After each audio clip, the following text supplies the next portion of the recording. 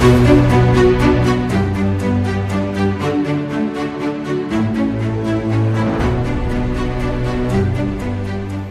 προκαλεί κάθε πλημμύρα και δυνατή νεροποντή σε περιοχές γύρω από ρέματα του Ηρακλείου που μπορεί ανα πάσα στιγμή να φουσκώσουν και να παρασύρουν φερτά υλικά. Ακόμα και η τραγωδία των προηγούμενων χρόνων στον κεράτιο ποταμό στην Κνωσό δεν μπόρεσε να αλλάξει δραματικά τη σημερινή εικόνα. Στο σημείο αυτό γράφτηκε το 2005 ο επίλογος μιας ασύλληπτης τραγωδίας με το θάνατο μιας εκπαιδευτικού. Το ίδιο σημείο σήμερα πνίγεται από βλάστηση και φερτά υλικά. Στο σημείο που χάθηκε μια 37χρονη γυναίκα, σήμερα κυριαρχούν καλάμια, φερτά υλικά και έντονη βλάστηση, με τους οδηγούς να αγωνιούν για την επόμενη καταιγίδα. Τι να θυμηθώ, είχε πάρα πολύ κακό καιρό, πολύ βροχή, είχε κατεβάσει το, το ποτάμι πάρα πολύ νερό, ε, δεν υπήρχε γέφυρα, η γέφυρα έγινε εκ των υστέρων. Θεωρώ ότι η κοπέλα υπερεκτίμησε τις δυνατότητες της δικές και του αυτοκινήτου της χωρίς να εκτιμήσει τη δύναμη του νερού, προσπάθησε να περάσει το ποτάμο και έγινε ό,τι έγινε. Πινακίδες ενημερώνουν τους οδηγούς ότι σε κάθε πλημμυρικό φαινόμενο η διάβαση γίνεται επικίνδυνη.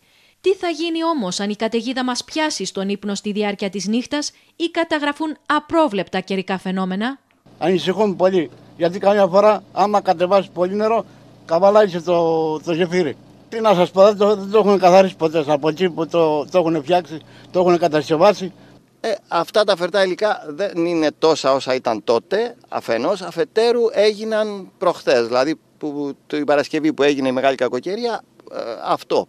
Δεν έχουν προλάβει ούτε να έρθουν ούτε να καθαρίσουν ούτε τίποτα τέτοιο. Κάθε άλλο παρακαθησυχαστική είναι και η εικόνα στην Ιρλανδική διάβαση Κατσαμπά που πνίγεται στα καλάμια.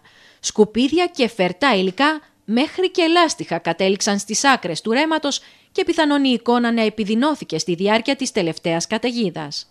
Εδώ από ό,τι θα διαπιστώσουμε πολύ εύκολα θα δούμε φερτά υλικά, θα δούμε λάστιχα αυτοκινήτων, θα δούμε πλαστικά βαρέλια, θα δούμε τενεκέδες πλαστικούς ε, μεταλλικούς που όλα αυτά αν θέλετε δημιουργούν ένα πρόβλημα. Θα φράξει ο ποταμός εκ των πραγμάτων.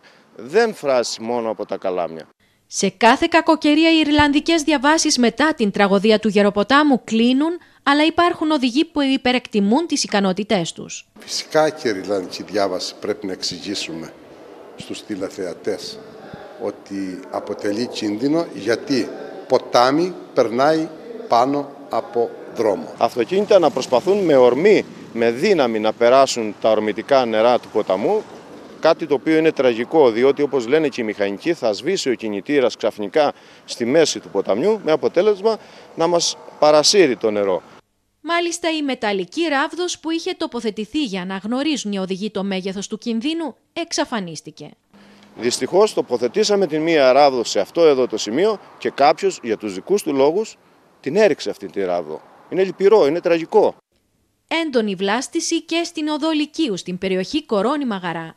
Δεν είναι μόνο η Ιρλανδική διάβαση που προβληματίζει τους κατοίκους, αλλά και η πιθανότητα να φουσκώσουν τα νερά του ρέματος.